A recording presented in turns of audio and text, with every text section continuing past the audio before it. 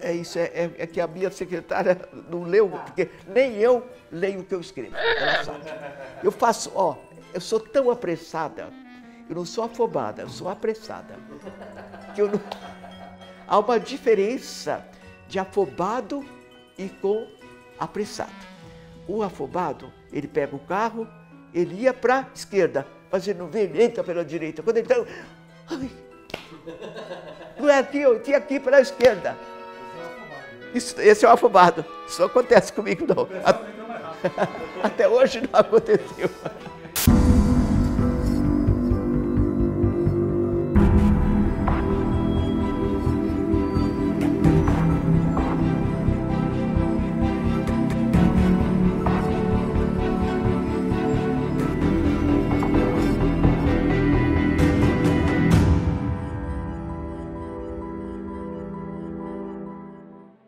Eu nunca pude trabalhar mediunicamente com o Chico Xavier, a não ser quando ele me convidava para visitar pessoas em muito sofrimento, para dar lição. Uma vez ele me levou a uma casa, uma senhora muito pobrezinha, e lá estava um jovem com 28 anos, se debatendo, batia a cabeça e gritava, e fechava os pulsos, e por aí ele sorria. E Chico Xavier disse que se tratava de um grande general da Primeira Guerra Mundial e que ali estava exatamente para fugir dos seus perseguidores, dos seus algozes. E o jovem estava naquele desespero, praticamente ali preso.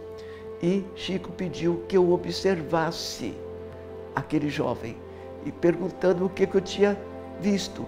Então eu disse a ele que eu tinha notado que era um grande do passado e que comandou o exército. Foi tudo. Então ele aí me descreveu. E por que então que aquele já foi nascer ali? E de que forma? Se ele era tão grande pecador, tão aquele que contrariou tanto as leis divinas, como que ele estava ali? E Chico me deu uma explicação muito importante. A sua mãe, um espírito de uma é, altura espiritual, de um crescimento, do amadurecimento, de uma consciência espiritual tão grande, que, vendo o filho, ele se encontrava no umbral nas mãos dos algozes.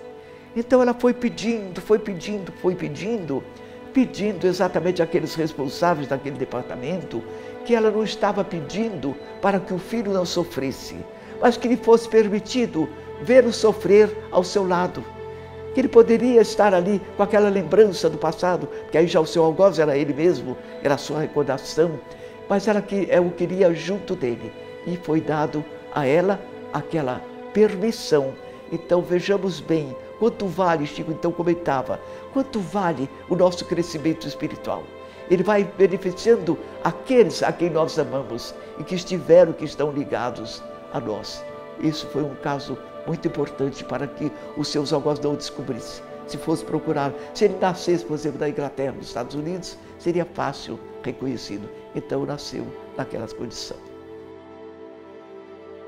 Então ele costumava visitar comigo uma moça paraplégica, só não era cega, mas não falava, não andava, e ele levava sempre um lenço vermelho para ele, para ela, levava essas coisas brilhantes, vermelho, preto, e oferecia. Quando ela via, ela ficava numa alegria, numa felicidade tão grande.